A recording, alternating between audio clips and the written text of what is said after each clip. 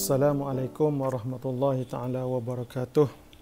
Alhamdulillahi rabbil alamin. Wassalatu wassalamu ala asyrafil anbiya wa mursalin wa ala alihi wa sahbihi ajma'in. Subhanaka la ilma lana illa ma 'allamtana innaka antal alimul hakim. Rabbi shrah li sadri wa yassir li amri wahlul 'uqdatam min lisani yafqahul qawli amma ba'd. Alhamdulillah uh, bersyukur kita kehadrat Allah Subhanahu wa taala kerana kita dapat bertemu sekali lagi dalam seri kuliah pengajian berkitab atas talian uh, di mana sebelum kita meneruskan program kita marilah kita sama-sama subscribe, like dan share YouTube channel Masjid Al-Muktafi Billah Syah itu TV MAMBS dan para hadirin juga ataupun para penonton juga boleh juga boleh follow, like dan share page Facebook Masjid Al-Muktafi Billah Syah dan mohon follow uh, kami di Instagram MAMBSK Kuala Terengganu. Semoga dengan like dan share anda boleh menjumpakan lagi aktiviti dakwah melalui media sosial Masjid Al-Muktafi Billah Syah. Uh, jadi Alhamdulillah uh, pada pertemuan kali ini InsyaAllah kita akan mengupas uh, lagi satu topik yang terdapat dalam buku Fiqh uh, Fiqh Umrah uh, Contemporary Fiqh Umrah Contemporary uh, karangan saya di mana tajuk kita yang hendak dikupas pada kali ini adalah berhubung dengan pengecualian waktu tahrim uh, di Tanah Haram Mekah. Okey, waktu tahrim di Tanah Haram Mekah. Okey, di, uh, di sini disebut dia kata terdapat lima waktu haram yang tidak dibenarkan solat-solat sunat di dalamnya. Tiga berkaitan dengan masa dan dua lagi berkaitan dengan perbuatan. Okey, jadi yang berkaitan dengan masa adalah seperti berikut.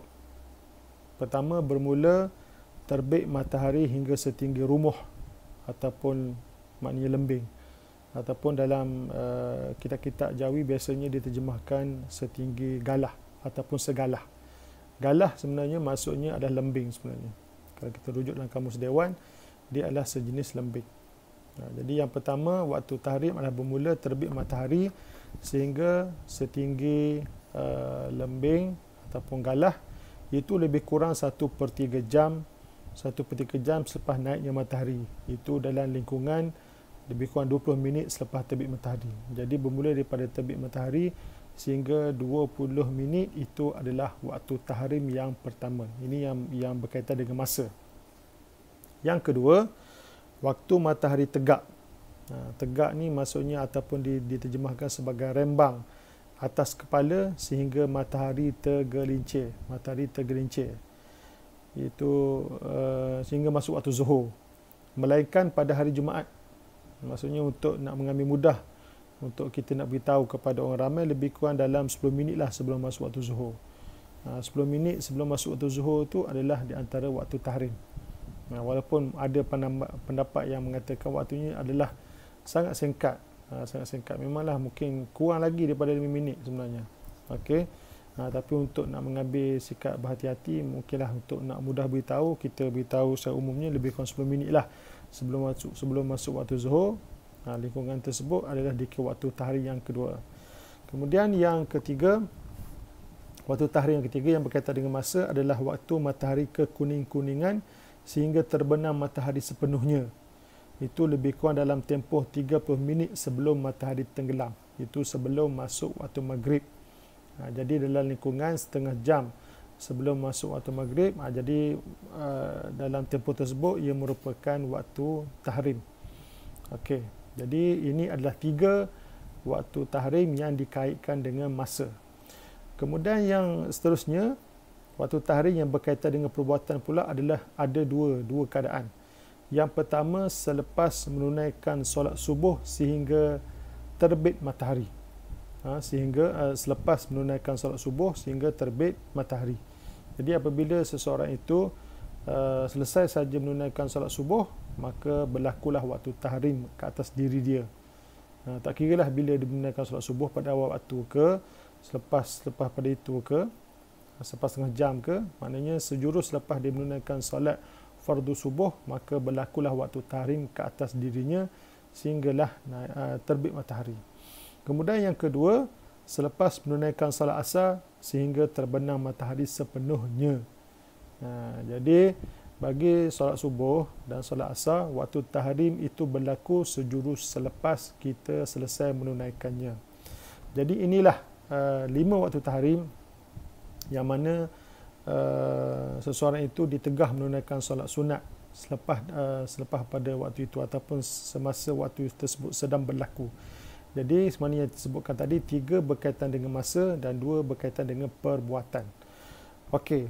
Jadi kita sebut tadi uh, pada waktu tahrim ini kita ditegah menunaikan solat sunat. Uh, namun sebenarnya ada sedikit perincian dalam perkara ini. Okey, dia kata tegahan untuk melakukan solat sunat pada waktu-waktu ini adalah bukanlah secara mutlak sebenarnya tetapi khusus pada jenis solat tertentu sahaja.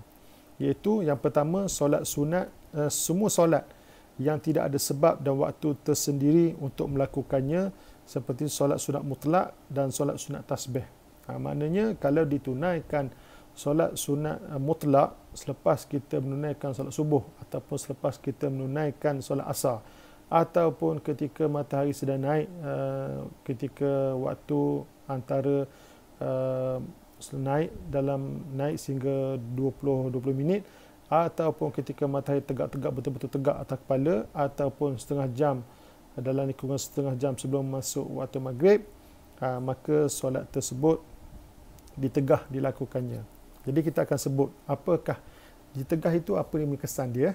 Itu yang pertama kemudian yang seterusnya solat yang sebab melakukannya terkemudian ha, solat sunat yang melakukan yang sebab kita melakukannya adalah sebabnya terkemudian apa maksud dia? Seperti solat sunat ihram, solat sunat musafir, solat hajat dan solat istikharah.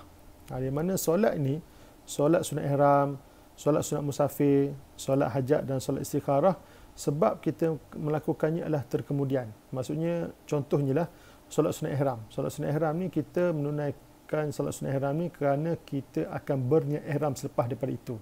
Ha, maksudnya sebabnya itu adalah terkemudian. Maksudnya selepas itu. Okey, solat sunat ihram. Kemudian solat sunat musafir. Ha, maksudnya biasanya kita menunaikan solat sunat musafir sebelum kita berangkat bermusafir. Jadi maksudnya bermusafir itu berlaku kemudian. Maksudnya berlaku selepas itu. Kemudian solat hajat.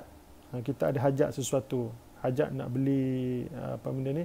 Ada hajat untuk nak pergi contohnya untuk nak mem, nak meminang contohnya kan. Ha, contohnya. Jadi bermakna meminang tu kemudian sembahyang dulu Ha, kemudian solat istikharah. Istikharah untuk nak memilih nak membeli rumah A ataupun rumah B. Ha, maksudnya kita solat dulu kemudian beli kemudian. Jadi inilah yang dimasukkan solat sunat yang sebabnya terkemudian. Itu solat sunat seperti solat sunat ihram, solat sunat musafir, solat sunat hajat dan solat sunat istikharah. Okey, jadi um, apakah uh, hukumnya kalau solat sunat tersebut dilakukan pada waktu tahrim yang lima yang kita nyatakan tadi? Ha, disebut di sini bahawa solat sunat ini jika dilakukan pada waktu-waktu tersebut hukumnya makruh tahrim. Makruh tahrim maksudnya yang sangat ditegah dan solat itu juga menjadi batal. Maksudnya tidak sah solat tersebut kalau kita laksanakan okey jadi dalam oleh kerana buku ini ada kaitan dengan fiqh umrah jadi yang nampak di sini yang mungkin ada kaitan dengan jemaah kita di sini adalah solat sunat ihram ataupun solat sunat musafir. Ha, nanti kita akan lebih uh, maknanya kalau semasa jemaah dia um, dia nak dia nak dia nak menunaikan solat sunat ihram tersebut di mana dia telah menunaikan solat asar contohnya maka tidak sunatlah dia menunaikan solat sunat ihram tersebut kerana sudah berlaku waktu tahrim ke atas dirinya. Begitu juga kalau dia nak menunaikan solat sunat ihram tersebut selepas uh, dia menunaikan solat subuh. Sejurus menunaikan solat subuh maka tidak disunatkan. Kalau dilakukan maka tidak maka tidak sah. Okey. Uh, jadi um, oleh kerana itu jemaah kena merancanglah uh, supaya Uh, tidak berlaku solat sunat ihram tersebut pada waktu tahrim. Okey. Seterusnya kita sambung. Uh, namun terdapat pengecualian berkaitan lima waktu tahrim di atas dalam keadaan-keadaan berikut. Uh, jadi walaupun kita kata ada dua jenis lah dua jenis solat ataupun dua kategori uh, jenis solat yang uh, di, kalau dilakukan pada waktu tahrim tersebut tidak sah dan hukumnya haram namun terdapat pengecualian berkaitan dengan lima waktu tahrim dalam keadaan-keadaan berikut nah, ada juga pengecualian yang pertama menunaikan solat sunat yang mempunyai sebab yang terdahulu sebab yang terdahulu seperti solat jenazah solat nazar solat sunat wuduk dan tahiyatul masjid ini adalah jenis solat yang mana sebabnya terdahulu. Maksudnya sebabnya berlaku dahulu. Berlaku dulu, kemudian baru kita solat. Ha, berbeza dengan jenis solat yang sebabnya terkemudian. Seperti solat ihram, solat sunat ihram, solat sunat hajat, solat istikharah, itu sebabnya terkemudian. Yang sekarang ni solat sunat yang sebabnya terdahulu. Ha, seperti apa? Solat jenazah. Ha, kenapa kita kata solat jenazah ni sebabnya terdahulu? Kerana mati dulu, baru kita solatkan ke atas jenazah tersebut. Dan begitu juga solat sunat wuduk kita berwuduk dulu barulah kita menunaikan solat sunat wuduk dan begitu juga solat sunat tahiyatul masjid kita masuk dulu ke dalam masjid barulah kita menunaikan solat sunat tahiyatul masjid. Itulah yang dinamakan solat yang sebabnya terdahulu. Maksudnya sebabnya berlaku dahulu. Barulah kita menunaikan solat. Kemudian yang seterusnya pengecualian pada lima waktu tahrim tersebut adalah menunaikan solat sunat yang mempunyai sebab yang seiringan ataupun sebab mengiringi dengan waktu itu. Seperti solat gerhana dan solat solat gerhana matahari ataupun bulan. Ha, contohnya berlaku gerhana matahari selepas kita menunaikan solat solat asar contohnya. Solat asar. Ha, maka dalam keadaan tersebut tidak mengapa sah solat tersebut kerana dikira solat sunat yang sebabnya mengiri, mengiringi. Ha, solat sunat yang mengiringi. Ha, jadi bermakna dalam keadaan ini uh, maka uh, solat ini dikecualikan maksudnya sah dilakukan pada waktu tahrim. Kemudian seterusnya menunaikan solat-solat sunat ketika matahari sedang tegak sehingga gelincir sehingga gelincir pada hari Jumaat itu dalam waktu 10 minit sebelum masuk waktu zuhur. Ha, jadi walaupun kita sebut tadi bahawa uh, di antara waktu tahrimnya adalah ketika matahari tegak atas kepala lebih kurang yang kita sebut antara kurang 10 minit lah sebelum masuk waktu zuhur tetapi ada pengecualian kalau hari Jumaat hari Jumaat dikecualikan waktu tahrim tersebut yang mana tiada waktu tahrim ketika matahari tegak atas kepala. Okey bermakna kalau jemaah nak menunaikan solat sunat mutlak uh, bermula dia masuk ke dalam masjid pada Jumaat dia bersama-sama solat sunat mutlak sehinggalah masuk waktu tahrim sehinggalah sebelum uh, masuk waktu zuhur maka tiada tiada maksudnya tiada tegahan dalam perkara ini. Uh, kerana hari Jumaat yang kita sebutkan tadi uh, dikecualikan waktu uh, waktu tahrim ketika matahari tegak di atas kepala. Kemudian seterusnya menunaikan solat-solat sunat di tanah haram Mekah. Uh, jadi uh, solat sunat tadi yang kita sebut ada yang uh, apa benda ni? Ada yang dikira ada waktu tahrim kan?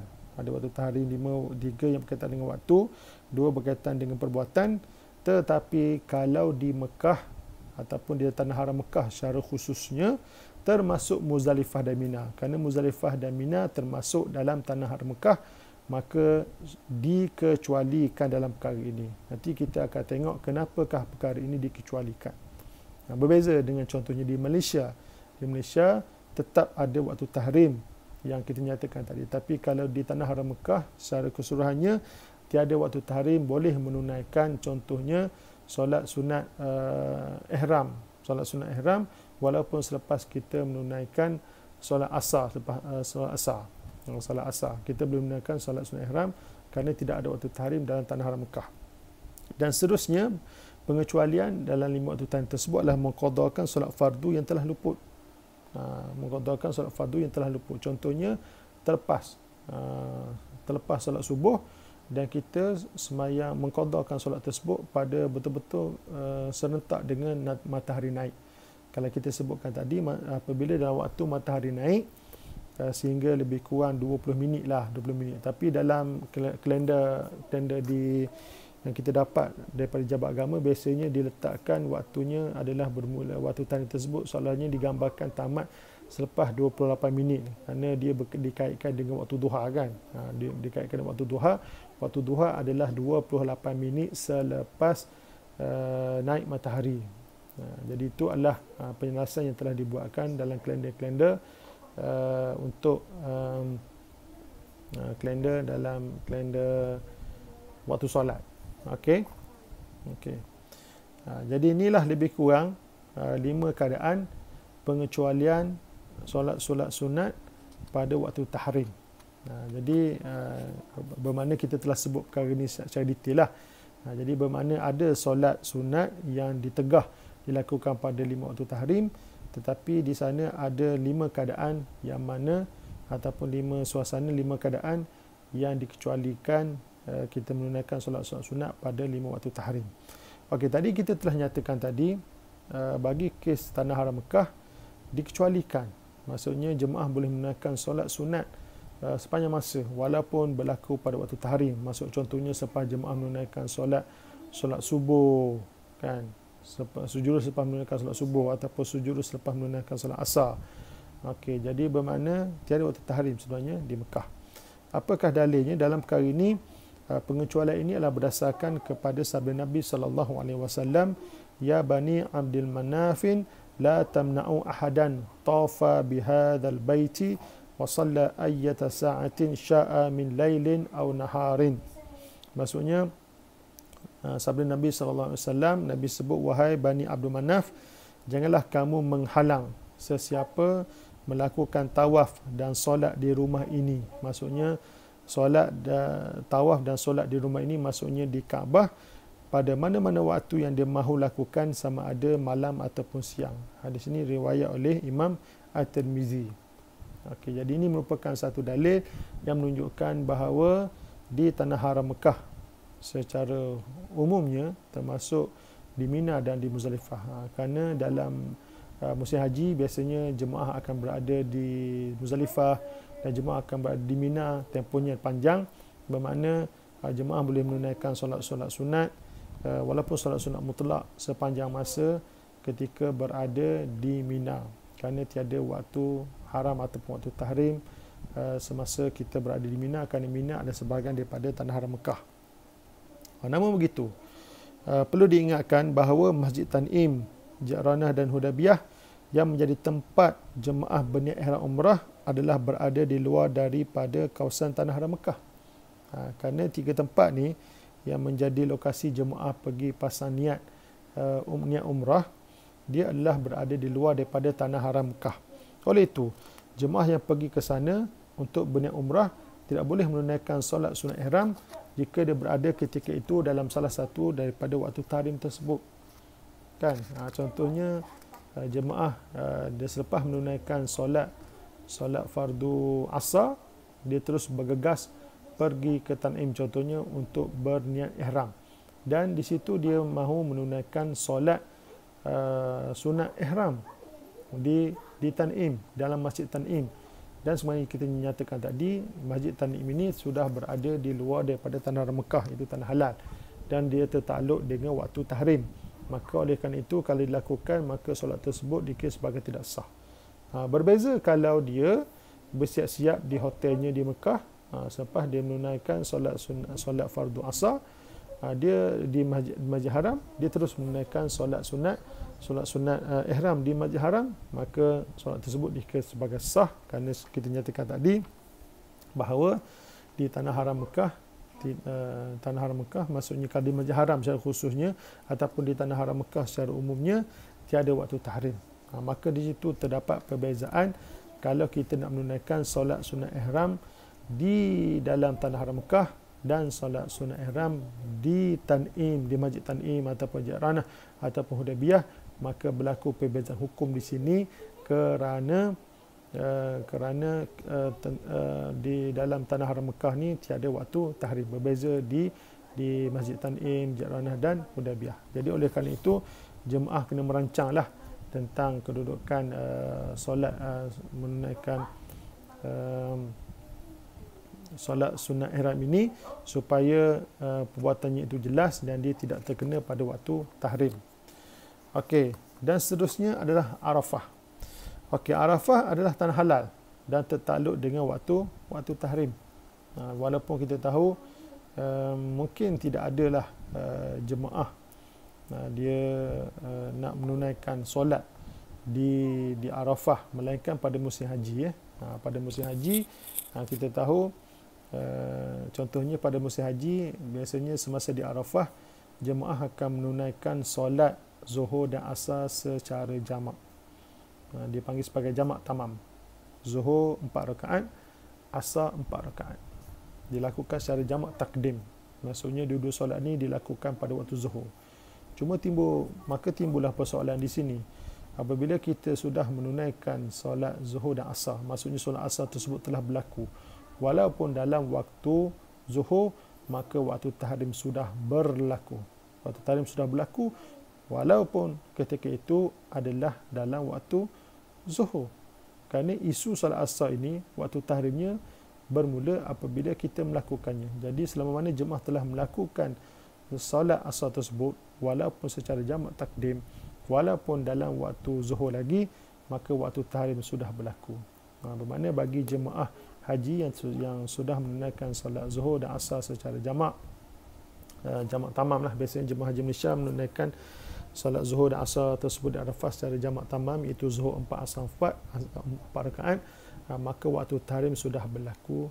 Uh, maka tidak bolehlah menunaikan solat-solat sunat yang solat sunat mutlak yang tidak boleh uh, solat sunat mutlak contohnya uh, pada waktu tersebut. Okey dan seterusnya uh, tanah haram uh, Madinah. Uh, bagaimanakah tanah haram Madinah? Tadi kita sebut tanah haram Mekah kan. Bagaimanakah kedudukan tanah haram Madinah dalam kali ini? Okey, jadi tanah haram Madinah tidak mempunyai kelebihan seperti tanah haram Mekah berkaitan dengan pengecualian melakukan solat-solat sunat dalam waktu yang diharamkan ini. Bermakna kedudukan tanah haram Madinah sama dengan tempat-tempat lain. Maksudnya sama seperti Malaysia. Ha, ada maksudnya tanah haram Madinah ni dia ada waktu tahrim lima yang tadi. Tiga yang dikaitkan dengan masa dan dua dikaitkan dengan perbuatan. Maka di antara isu yang biasa berlaku adalah jemaah umrah yang hendak bergerak daripada uh, yang hendak bergerak daripada uh, Madinah masuk ke Mekah. Di mana kebiasaannya dari segi pergerakannya mereka akan Uh, keluar daripada Madinah ataupun check out daripada hotel mereka di Madinah adalah selepas mereka menunaikan solat uh, solat zuhur. Dan biasanya pada hari tersebut uh, jemaah akan uh, diarahkan menunaikan solat zuhur dan asar secara jamak takdim.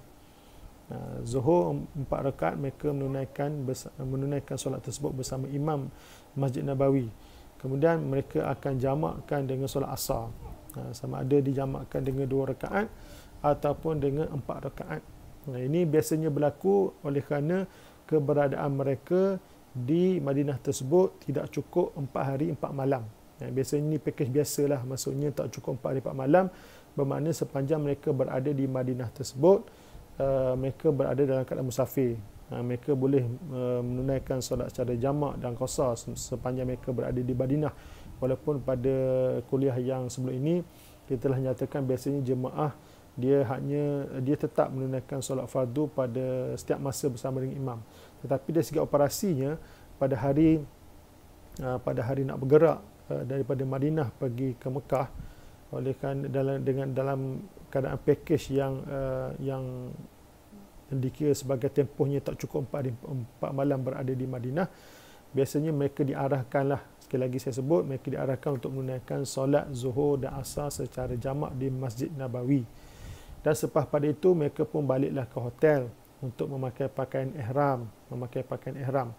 Okey, jadi selepas pada itu timbullah mereka nak menunaikan solat sunat ihram di hotel. Iaitu selepas mereka dah selesai jamak solat di Masjid Nabawi tersebut. Maka kalau dah uh, berlaku keadaan tersebut, maka dikira sebagai solat tersebut sebagai tidak solat tersebut sebagai tidak tidak sah lah kerana sudah berlaku waktu tahrim kerana jemaah sudah menunaikan solat asar yang telah dijamakkan dengan zuhur secara jamak takdim. Walaupun waktu itu adalah waktu masih lagi waktu zuhur.